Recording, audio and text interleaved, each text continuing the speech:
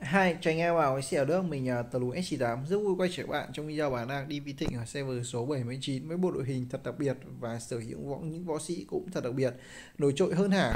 Cả không phải là Dulon thập tam đang trong sự kiện hồn vũ khí lần 2 kèm theo đua dương lần 2 mà lại là Homura một trong bốn võ sĩ hợp tác cực kỳ ghê gớm. À, cả bốn võ sĩ thì mỗi con đều có một sắc màu khác nhau. Tuy nhiên Homura là võ sĩ có sắc màu nhạt nhòa nhất bởi mình nghĩ rằng có rất rất hiếm người sở hữu nó. Ở đây cũng là một trong những nhạc hiếm hoi không chỉ sở hữu Homura mà còn đưa nó lên tầng cao nhất đó là tầng lục môn à, với một lượng kim cương dồi dào hiện tại thì ờ, à, có thể sẽ ờ, có thể ngoài trừ Homura ra thì ngoài ra thì còn có thể sở hữu được rất nhiều các võ sĩ khác nữa. Mình lấy ví dụ như có thể lấy thêm một hồn vũ khí nữa để đưa Dulon lên tầng cao nhất đó là tầng lục môn à, sát thương của Homura thì cộng dồn được với Saiki với chít hỏa. Và mình nghĩ rằng nếu bạn nào mua hàng thì thay Sermiloi bằng Kyo Flame ở vòng 2 thì sẽ là tuyệt vời nhất. Nó sẽ hình thành nên một team có rất nhiều các võ sĩ hỏa bao gồm 1, 2, 3 và thêm Kyo đã bốn con hỏa. Team hỏa chắc chắn sẽ quay trở lại. À, sau đó khoảng nửa tháng nữa chẳng hạn nếu mà nói mà ra Chrysalis thì các bạn cũng có thể sở hữu Chrysalis nhé à, hiện nay thì còn siêu lễ tức 13 ngày và mức VIP cũng rất cao. Tí nữa mình sẽ check xem trong túi đồ còn kha khá mảnh vạn năng không. Nhìn chung thì à, có tiềm lực rất là khỏe. Bạn chủ hàng bạn ấy mới mua về nhưng mà cũng chơi rất là nhiệt. À, bạn ấy muốn uh, lấy một cái team mà nó hoàn hảo hơn bởi thời điểm hiện tại à, uh, chít hỏa hay là Sturmy hay thậm chí là Saiki không còn cái được cái sức mạnh um, đáng kể nữa. Nó nhìn nó chỉ đẹp đẹp thôi chứ còn đâu không đánh nhau đâu các bạn ạ. Ạc này khả năng cao sẽ nằm trong hạng 2x ừ, mà có thể là hạng 3x trong đấu trường luôn. Chúng ta cùng check đồ của ạc các bạn chúng ta có báo tố 5 sao đang dùng cho sơ mi lôi. Đây chắc chắn là một cái không không chính xác rồi không hợp lý rồi.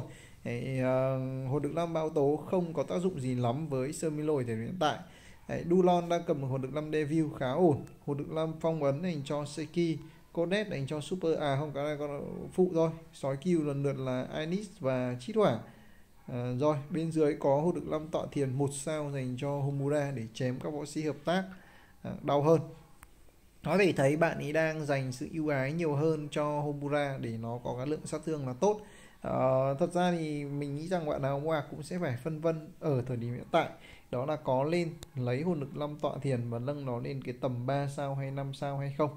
Uh, số lượng người chơi sở hữu dòng võ sĩ hợp tác theo mình vẫn còn rất nhiều thời điểm hiện tại. Nhưng trong vòng 3 tháng nữa hay ngắn hơn là hai tháng nữa mình nghĩ rằng sẽ càng ngày càng giảm đi.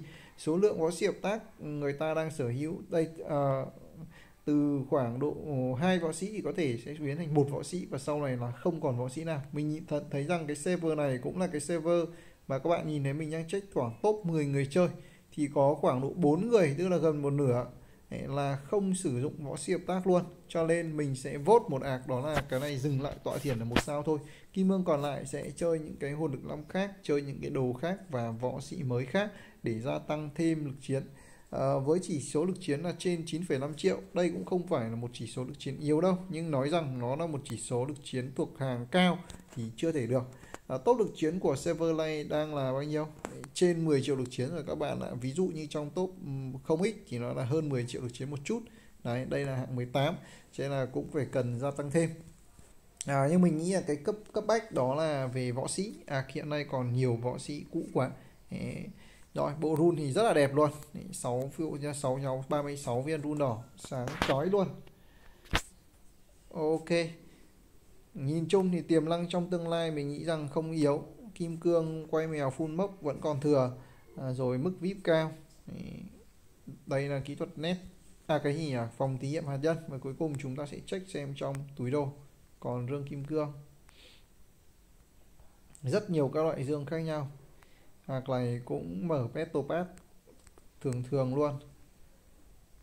Anh em nào mua hạc này cũng yên trí nhé à đây còn một vé petopad miễn phí, mảnh vạn năng thì rất tiếc là hết rồi. Cho nên bạn nào mua thì sẽ theo mình là đầu tiên là nạp quả petopad để kiếm mảnh vạn năng đều tay. Thứ hai là đánh tốt các chế độ, bao gồm đây, thì gần được thêm một cái sói nữa này.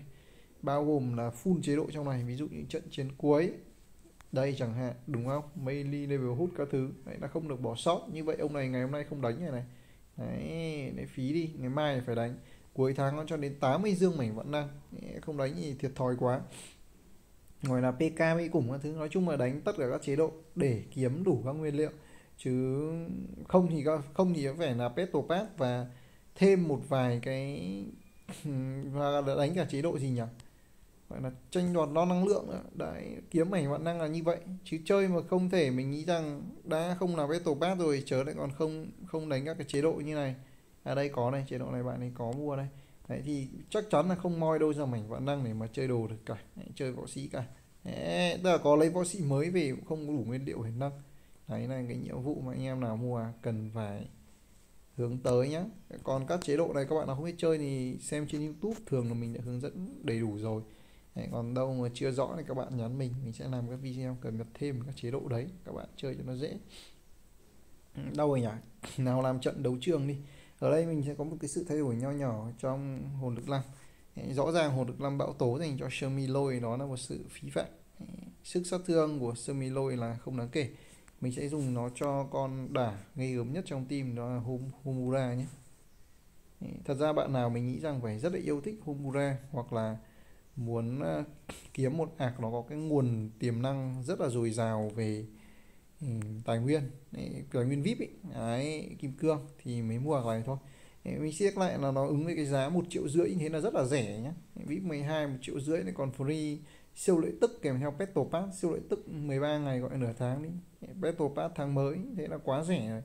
Đấy, còn đâu à, hoặc là phải yêu thích Homura chỉ có đâu tất nhiên là nó không thể nào mà như là mấy cái à, 2 triệu hay 4 triệu 5 triệu mình đăng được đúng không? Tiền nào của đấy chứ? Các bạn nhân trí ạc này về xây dựng lại được sửa tốt. Nghe không? Ông bị đánh xuống hạng quá sâu luôn. À, quẩy với bạn à, Eki Elu gì đấy. Server này cũng có khá nhiều người chơi nước ngoài. À, Dai Fauzi server 79 cũng là một cái tên khá quen thuộc khi mà bạn ấy tham gia mini game Mentimentor của mình mấy lần ăn hụt giải này. Ừ, ông gì? Buổi tối các buổi tối thì mình thường hay livestream trên kênh youtube mà các bạn đang xem này. Và hay có một cái mini game tặng thưởng. Kiến thức thì xoay quanh quyền vương. Đấy, quyền vương 98 tất cả các phiên bản trong đó nặng nhất vẫn là phiên bản server quốc tế. Ok nào chúng ta sẽ cùng thưởng thức trận đấu xem Homura chém cỡ nào nhé các bản dịch về võ sĩ thì các bạn có thể tham khảo web Đài Loan trừ thằng Shingo. Ok. Feta có chỉ số lực chiến cao hơn hẳn, nhưng rõ ràng về chất lượng võ sĩ dường như chưa bằng đội bạn. Đội bạn có Kyo Feta thì không. Đội bạn có Iori Feta chỉ là chít hỏa. Đội bạn có Mai còn Feta chỉ là Semi Lôi. Đội bạn có Yumi Feta chỉ là Sakiremon có điều thì Feta có Dulon và đội bạn thì không có con tanker nào tốt hơn được Dulon nên là cũng chưa biết được đâu. Về hàng tấn công thì mình tin là Homura hoàn toàn có thể hơn được ừ, Iori và Kyo ở thời điểm hiện tại nhé như Kyo lên lục môn thì chắc chắn là không bằng nó đâu. À, về mặt ừ, phòng thủ thì Dulon mình nghĩ là không ngán bất kỳ ai cả. Đấy, có dàn rõ ràng là dàn phụ trợ các thứ thì đội bạn là tốt hơn hẳn. Để xem. Đồ thì bên phe ta lại hơn đúng không? Đấy, các bạn đang được theo dõi trận chiến ở server 79 đó không hẳn là một server cũ dù là nó không chắc chắn không phải là server mới rồi. Nói khác đồ của những người chơi lực chiến của người chơi thì đang trong giai đoạn gọi là tiến triển chứ chưa phải đạt đến độ 9 nên là các bạn chơi thì cũng còn rất là nhiều thời gian để nâng cấp nó lên cái tầng sức mạnh tối cường băng của Yumi luôn luôn khó chịu với những người không với những đối thủ không có Yumi phong ấn của Dulon thì nó khó chịu với tất cả các người chơi dù bạn có hay là không có uh, Dulon. Đặc biệt khi mà Dulon là đến tầng lục môn thì cái sức khó chịu của nó sẽ lan tỏa đến toàn bộ đội hình. Thật ra đây đây là hồn thức tỉnh hồn vũ khí đã là có tỷ lệ đấy các bạn nhé. Chứ còn đâu lục môn rồi thì cứ gọi là xác con nhà bài định là sẽ bị khống chế cấm chiêu, ức chế vô cùng luôn. Ác này thì thiếu một hồn vũ khí nữa thôi, mà kim cương còn dư giả như này mà không lục môn Dulon thì phí quá.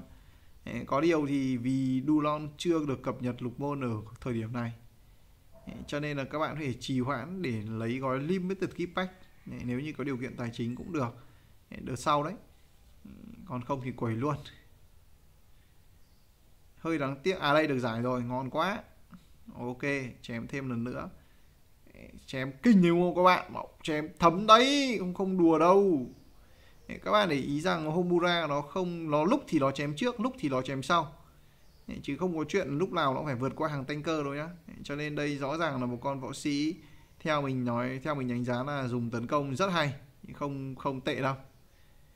Có điều thì nó cũng giống như Hikage ngày xưa ấy. Nhiều người cũng chê là nó yếu nó vô dụng phế so với hội còn lại. Nhưng đã có những cái thời điểm trước khi có Dulon này nó là con key player là con đem tới chiến thắng cho mình à của mình chứ không phải Asuka. Bây giờ thì Dulon nó khống chế khó chịu lắm. Nhưng các bạn gặp người chơi nào không có Dulon thì vẫn dùng Hikage ngon lành nhé Đấy, bởi Dulon là mạnh thật nhưng không phải ai cũng nhận ra sức mạnh đấy và sử dụng nó đâu hoặc là có nhận ra nhưng mà tài nguyên lúc ý nó lại không đủ đúng không? Đấy thì nhè với ông đấy mà đấm là võ sĩ nào mình nghĩ rằng cũng vẫn sẽ còn đất diễn cả. Cái ôi ông này lục bôn Yumi các bạn ạ nhưng không có Asuka không có Hikage hay là Homura. Bạn uh, Elin này cũng hơi bị ghê gớm luôn đấy. Có thể nói là một người chơi có phong cách chơi rất khác biệt. Không giống như những người còn lại.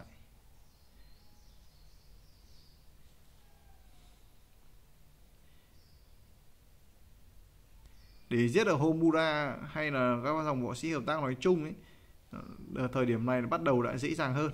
Nhưng mà cũng còn phải gọi là mất thời gian nhé, không phải đơn giản đâu. Sát thương của Homura tới từ hai nguồn, đó là đòn đánh tay và sát thương chảy máu dần dần. Trong đó sát thương chảy máu dần dần thì nổi trội hơn. Đã biến hình rồi. Khi tỷ lệ né đòn của Homura mà dưới 50% tức là cái tỷ lệ né khả năng cao nó không né được ấy. Thì nó sẽ có tỷ lệ kháng chí mạng và đỡ đòn siêu cao. Thế nên là các bạn để ý rằng bạn thích bạn thì mới để con Homura hàng trước. Nói khác nó vừa là một con tấn công, vừa là một con phòng thủ khá hay. Hàng này mình nghĩ rằng hạng 3x thì vô lý quá. Hạng top lực chiến là 1x thì cùng lắm là đấu trường là 2x đấy là cùng lắm đấy, nó không thể nào mà lại xuống được hẳn hạng 3x này, vô lý quá bạn đi xếp team nó chưa được ổn. Thứ hai là uh, ông áo chịu mày mò biến tấu đi. Đu lon có phải yếu đâu. Hoàn toàn có thể đưa đu lon hàng trước cũng được. Rất được đu lon là còn ốp. Ok. Còn cứ để thằng Saki nó đứng lên nó ngồi xuống quỳ lên. Khổ quá rồi Homura hồi máu tởm nhỉ hồi máu chất lượng luôn đấy đánh về lâu dài thì không sợ Homura nó không sợ. Đội bạn cũng không có con nào đánh lết để khiến cho Veta phải sợ. Băng của Yumi để đợi đạt đến 8 tầng thì lâu lắm. Băng của Yumi là cái băng mạnh về mặt lý thuyết dọa người ta rất là sợ nhưng mà thực tế thì con thua ôi, con Hubra nó hồi máu lắm thế. Không biết là do lỗi tại của Dulon hay là lỗi tại của ai nữa. Thực tế là trong team đang có hai con hạt nhân và cả hai con đấy nó đều giúp cho võ sĩ thấp máu nhất trong đội hình phe phe ta là hồi được máu. Nên khả năng là do hai con hạt nhân nó búp. Dulon chắc chắn là cũng búp, nhưng mà chính thì vẫn là hai con hạt nhân. Ok. Mình vừa mới nhìn thấy Homura biến hình. Ê, thằng Saiki quỳ rồi cũng không tha. Rồi một pha chém chất lượng đấy. Các sát thương của Homura thì đều xuyên miễn không. Và nói mình chả biết búp biết cái nào nhưng mà thập để so với Asuka thì có thể chưa bằng. Nhưng mà chỉ cần bằng khoảng 70% của Asuka là đủ giết hết rồi rồi Saiki mình thấy sát thương cũng khá ổn không tồi đâu. Chúng ta hoàn toàn có thể hy vọng vào một trận thắng ở trận đấu này. Feta vẫn còn ba người quan trọng nhất. Ui, chết mất thằng Anit rồi à? Mình không nghĩ là chết mất Anit đấy. Phí thế. Ảo ma ghê. Con Yumi đội bạn ờ, hình như mình nhìn không nhầm, nó vừa thi triển một cái gọi là À, gọi là S Max của Yumi gọi là đột tử.